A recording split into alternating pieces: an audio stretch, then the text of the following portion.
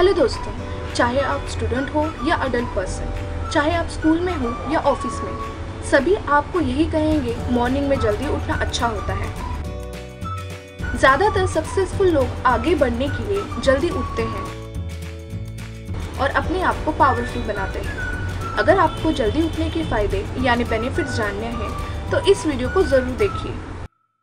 हालाँकि, ज़्यादातर लोगों को जल्दी उठने के फ़ायदे पता होते हैं। फिर भी उन्हें लगता है कि वो जल्दी उठना मैनेज नहीं कर सकते। ऐसा करने में उन्हें बहुत डिफिकल्टी होती है। क्या ये वास्तव में कठिन काम है? सुबह जल्दी उठने के लिए सबसे इम्पोर्टेंट चीज़ जल्दी सोना है। हाँ दोस्तों, आपने सही सुना। अपने रेगुलर टाइम पर सोए और अगले दिन सुबह जल्दी उठ जाए। यह कुछ दिनों के लिए थोड़ा डिफ़िकल्ट होगा, लेकिन फिर धीरे धीरे आपको आदत हो जाएगी। चूँकि कल रात आप कम सोए थे, इसलिए आप थोड़ा थके हैं, यानी टायर्ड लगेंगे, लेकिन इस थकान की वजह से आपको अपने रेगुलर टाइम से जल्दी सोने में मदद मिलेगी। सोने के आधे घंटे पहले ही फ़ोन या लैपटॉप को यूज़ करना अवॉइड करें। इलेक्ट्रॉनिक डिवाइसेस की ब्लू लाइट मेलेटिन के प्रोडक्शन को कंट्रोल करती है, जो कि एक हार्मोन है और जो हमारी नींद को कंट्रोल कर सकता है। जितना अधिक आप उनके सामने रहेंगे ये मेलेटोनिन के प्रोडक्शन को कम करेगा और आपके सर्केडियन रिदम को अफेक्ट करेगा, या सामान्य रूप से बॉडी क्लॉक भी कहते हैं। शुरू के कुछ दिनों में आप वार्म वाटर से नहा सकते हैं, या बेड पर जाने से पहले किताब पढ़ सकते हैं, या ऑडियो बुक सुन सकते हैं। ये सबसे आपको सोने में मदद मिलेगी।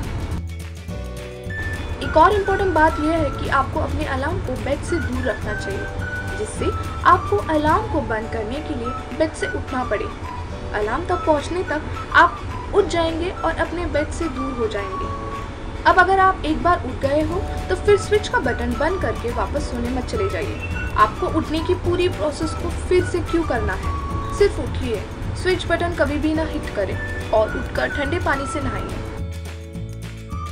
सबसे इम्पोर्टेंट बात यह है कि आपको ये जानना होगा कि आप जल्दी क्यों उठना चाहते हैं। एक स्ट्रॉन्ग रीज़न के साथ उठे, जो आपके गोल्स के लिए जल्दी उठने में मदद करेगा और आपको उसके लिए काम कराएगा।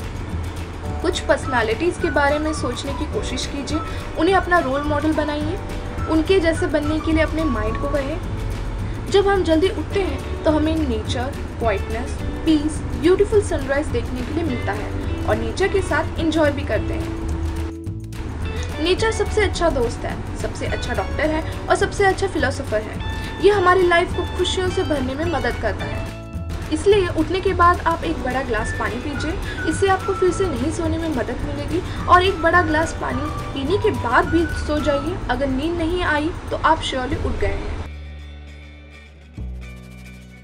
अपने दिन के समय आपको कॉफ़ी सोडा या एनर्जी ड्रिंक्स का भी सेवन कम करना होगा।